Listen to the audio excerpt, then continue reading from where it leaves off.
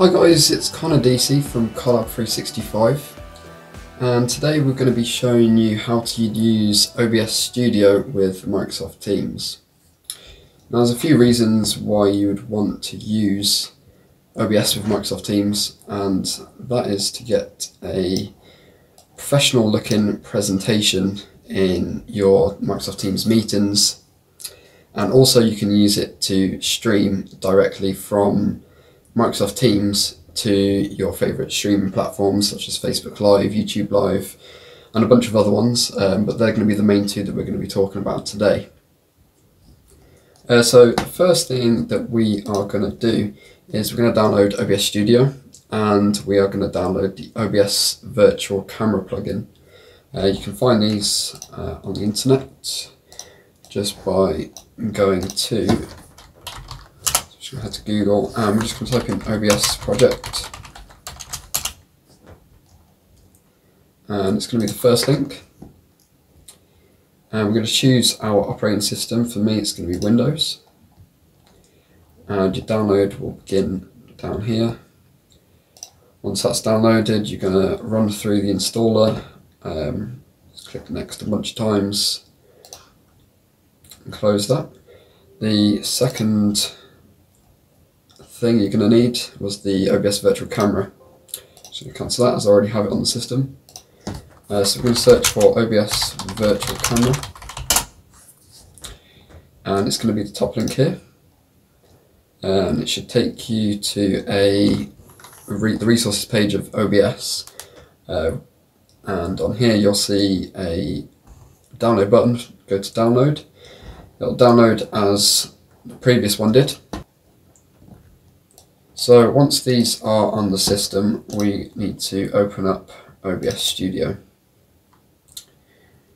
And this is our main OBS window. I'm going to delete these as we'll get to those a little bit later. So your screen will look something very similar to this. You'll have no scenes and no sources. So I'm just going to quickly run down a few little things in the UI which you'll need to get to grips with. So down at the bottom here we have the scenes panel and within the scenes panel it's going to allow you to create little scenes windows uh, which you can alternate between and you can put different things um, on each of the uh, scenes windows. Each of the things are going to be called sources which you can find in the sources panel again down below. You have your audio mixer which is where you can control the volume outputs for each of your devices. So that's going to be your microphone, any of your video sources that you have, um, any any sources that has audio will show up down here, and I'm going to go through that a bit later. You have scene transitions, again, which we'll go through later. It's just a way of switching between scenes and making it look pretty. So the first thing we want to do is go to the settings tab down in the bottom right hand corner here. And we're going to make a few adjustments uh, just so we can begin using OBS more efficiently. So we're going to go to the video tab and under here we're going to make sure the output scaled resolution is set to your uh, your native display resolution of your computer screen which in my case is 1920 by 1080p. And I'm going to set the FPS value to uh, 60. Uh, anything higher than that is really irrelevant and anything lower than that is not going to be ideal um, for what we're going to be using OBS Studio for. After we've done this, we're going to go to output and we're going to make sure that the video bitrate is at 3500. I think it's set to 2400 by default. And I'm going to set the recording format to MP4. And this basically allows us that if we do record in OBS Studio, uh, basically makes it a lot easier to manage in any like third-party editing software, uh, such as like Premiere Pro or Camtasia. And with that for now, we're just going to click OK. So before we get started making any like integrations with Microsoft Teams, uh, we're going to just quickly get to grips with the scenes and sources. So like I said, a scene is going to give you different windows which you can use. So we have our first scene here, I've just named this one camera. Uh, and I'm just going to add my webcam. So I'm going to do this by clicking on the little plus icon down in the sources here and selecting video capture device A video capture device is any device which is sending a video input to your computer, such as a webcam or a capture card or anything like that. Um, so I'm going to name this one webcam and click OK. It's going to bring up my webcam by default as that's what's defaultly selected um, in Windows at the moment.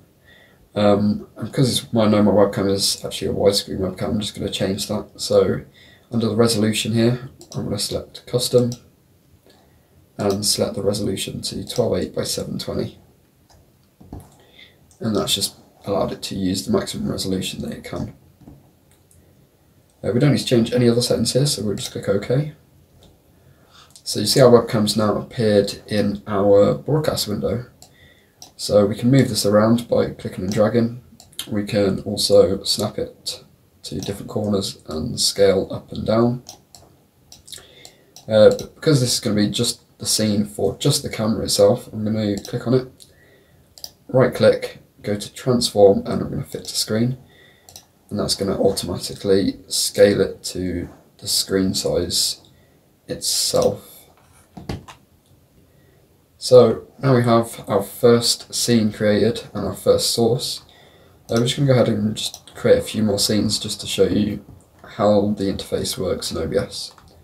So down in the scenes tab down here we're going to hit the plus icon and I'm going to name this one camera uh, plus video and as you see now it's selected we have a blank canvas to work in um, because we're going to be using our camera again and a video, I'm just going to bring in our camera.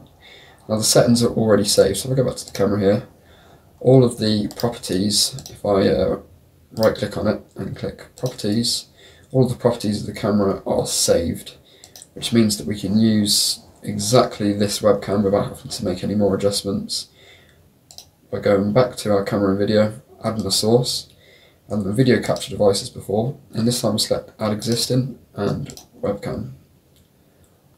Hit OK, and we have that webcam again. So for this one, I know that I want to put this down in the bottom right corner, down here, because I want a video to show over the top. So to add a video, we're going to add another source, and we're going to select media source, and I'm going to type in Mark's video.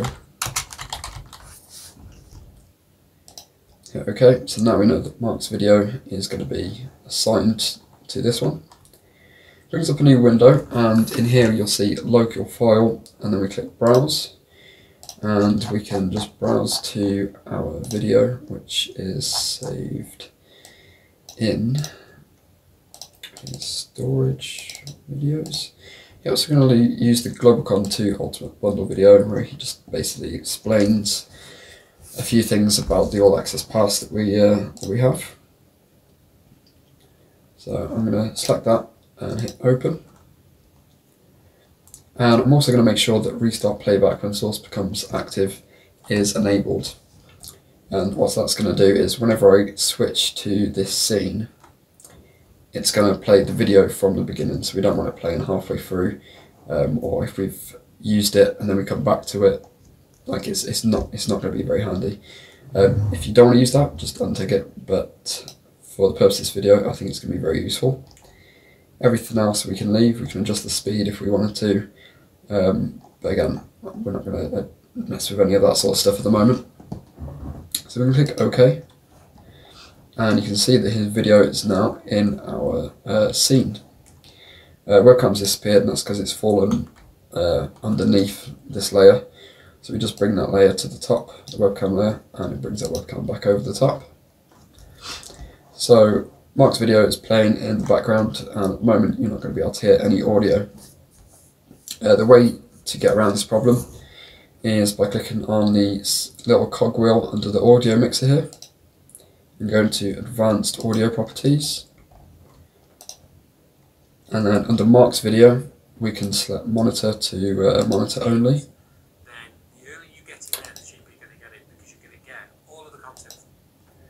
Which is actually playing from my speakers, which you won't be able to hear in the video. Um, but that's how you bring audio into uh, the video. So we're going to close off that now. And that's that source selected. So we go back to the camera and I'm going to add a new scene here. And I'm going to call it camera plus uh, browser. So we can also add a web page, a functional web page to our scene. So we've created a new scene, which means there'll be nothing on it. Again, we want to bring in a camera, which we'll do by doing exactly what we did before with an existing webcam. I'm going to place that. I'm going to place that just down here, and I'm going to add a uh, a browser source. So we'll do this by going to the plus icon and going to browser I'm going to call this uh, events page. It's always good to name your stuff so you know what you can bring up when you want to show people things without cycling through half a million different scenes trying to figure out what it is you want to show somebody. So it's just going to bring up a simple browser to start off with. I'm going to change the width to 1920 by 1080 just so it scales to our canvas size.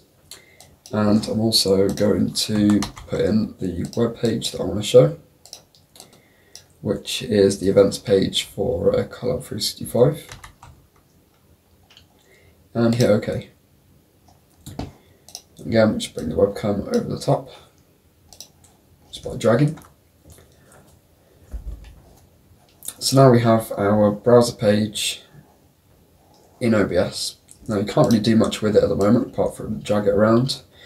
But uh, OBS has got a really cool feature where you can interact with a with the browser plugin.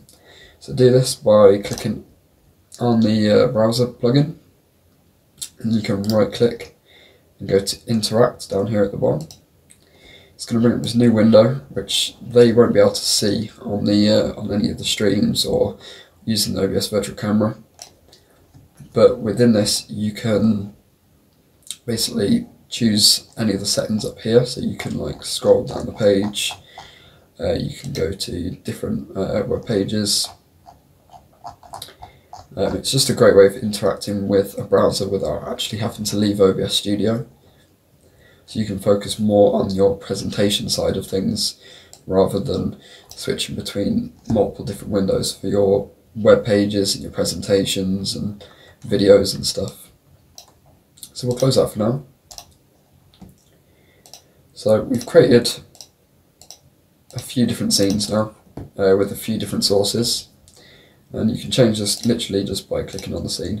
As you notice it's sliding to uh, the left and that's because in the scene transitions down here on the right I have it set to swipe.